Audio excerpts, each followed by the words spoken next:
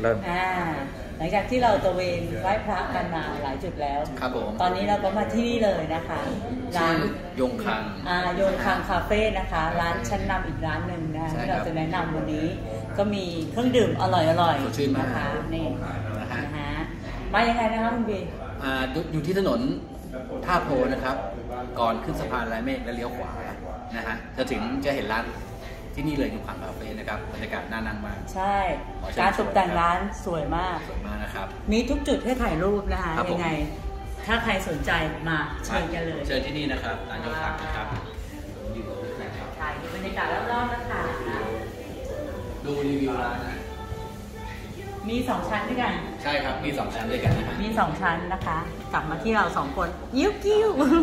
มีสองชั้นมีสองชั้นนะคะ ทุกมุมของร้านทุกมุมของร้าน แต่งน่ารักมากสวยมากเป็นสไตล์ออกไปทางจีนๆเนาะใช่จริงๆแล้วแนววินเทจอ่าเล็กๆน้อใช่ยๆนะฮะยังไงฝากด้วยนะคะแนะนำครับแนะนำร้านนี้นะโยฮะนคางคาเฟ่ค่ะ